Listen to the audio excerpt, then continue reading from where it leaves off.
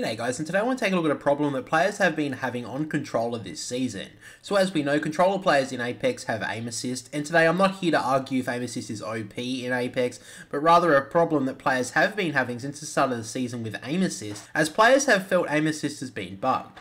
And today we do have some proof that Apex has definitely done something with this update to inhibit the aim assist, thanks to HonoredFlyr, who explains the problem that he and other players have been dealing with this season.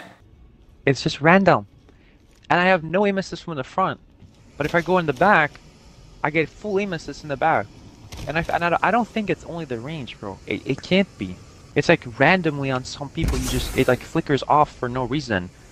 And it feels really weird because you have no aim assist on them front facing, but if they're running away or something and you're on the side, right? You, you, you get aim assist on the side. But if you're like on on the other side, the the front facing side, then it just completely turns off. You see that? I think this this is why it's really weird in game. I think it's the same thing in game. I don't think it's only the range.